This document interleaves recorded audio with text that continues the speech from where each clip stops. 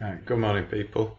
Um, we're going to get back to looking at our case study for a major UK city. So, going back to the work we've been doing on Liverpool, and today we're going to have a look at how urban change has created the challenges in Liverpool or the problems. So, a couple of weeks ago, we had a look at the opportunities urban change has brought, so the good things that um, urban change in Liverpool has brought, and we looked at social opportunities, economic and environmental. So some of the social opportunities we mentioned was the Albert Dock had been restored, creating shops, bars, restaurants, museums, that type of thing.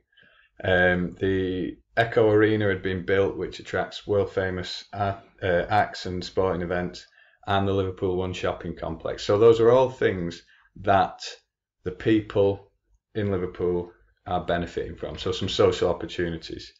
Some of the economic opportunities, mainly uh, creation of new jobs. So employment in the bars, the cafes, the museums on Albert Dock. Um, the arena brings thousands of visitors each week. These visitors that come to watch uh, the acts or the sports, um, they'll spend money in bars, in restaurants, in cafes, which has a knock-on effect on the economy. And also, Liverpool 2, which is a big container port, opened in 2016, and that allows much bigger cargo ships to dock in Liverpool, and that's secured and it's created hundreds and hundreds of jobs. And lastly, environmental opportunities, so how the environment's benefiting from urban change. And this mainly centres on the amount of green space, so parks basically. So city planners have actively tried to increase the amount of green space. Um, in Liverpool One, the shopping centre, um, there's a five acre park in the middle that um, is used for recreation but also increases the amount of green space. They've tried to increase more uh, cycle paths, there's been more bus lanes being created, making travel cleaner and greener, and also the use of coloured bins for recycling, so getting rid of the waste without doing too much damage to the environment.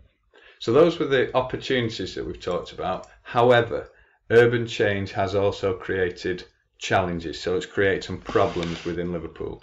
And we'll have a look now at some of these. Again, we'll look at social, economic, and environmental.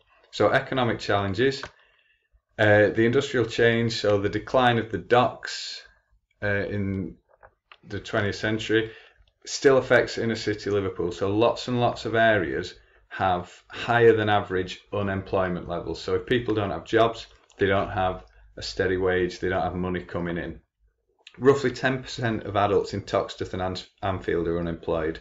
So Toxteth and Anfield are two areas within Liverpool that are uh, quite deprived, and around about 10% of the adults that live there don't have a job.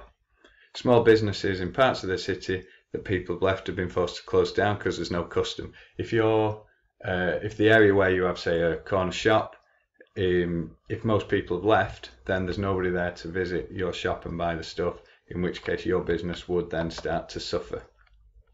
Unfortunately, as well, in the areas that have been redeveloped, the cost of living, the uh, the cost of the houses has increased so much that local people can't afford to live in those redeveloped areas. So these are some of the economic challenges. So this uh, just relates to the idea of 10% of adults in Toxteth and Anfield being unemployed, so no job. Right, some social challenges. Large areas of poverty still remain um, to this day. For example, Anfield and Toxteth, they're still amongst some of the most deprived areas in the country. People in these areas have poor access to decent education and healthcare, and the crime rate is very, very high in these areas. Life expectancy, how long people can be expected to live for, in Toxteth is 10 years less than some of the wealthier parts of Liverpool. So if you were born or raised or live in Toxteth, then you could be expected to live 10 years less than somebody who was born or lived two, two and a half miles away in another area of the city. And redevelopment and regeneration of some parts of Liverpool has led to further inequalities. So the people in the new, the redeveloped, the wealthier areas have better access to housing, to healthcare, to education, and to employment. So the life, the quality of life is much better in those new areas.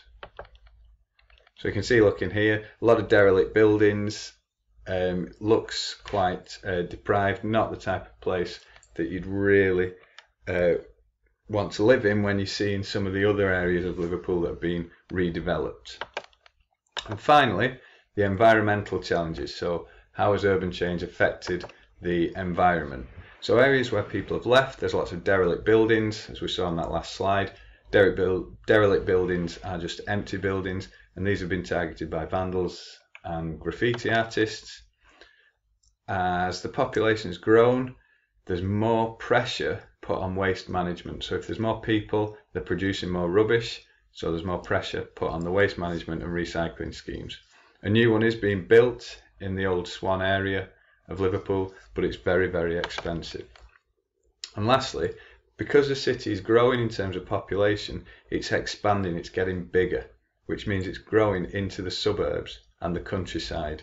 So as the city expands, it moves into new areas and that destroys wildlife habitats, but also increases the journey times into the city centre, which increases the amount of air pollution.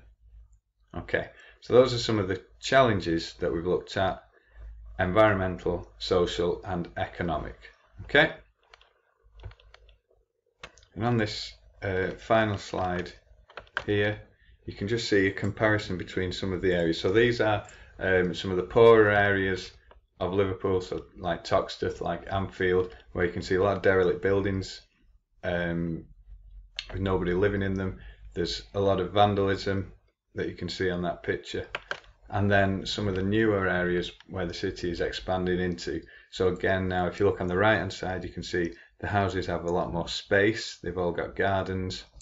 There's lots and lots of green open spaces, which would be a much more pleasant place to live. Obviously, the air quality is going to be better. You've got places for recreation and things like that. However, some of the environmental impacts of this are loss of uh, habitats, wildlife habitats, um, and increased travel time into the city centre.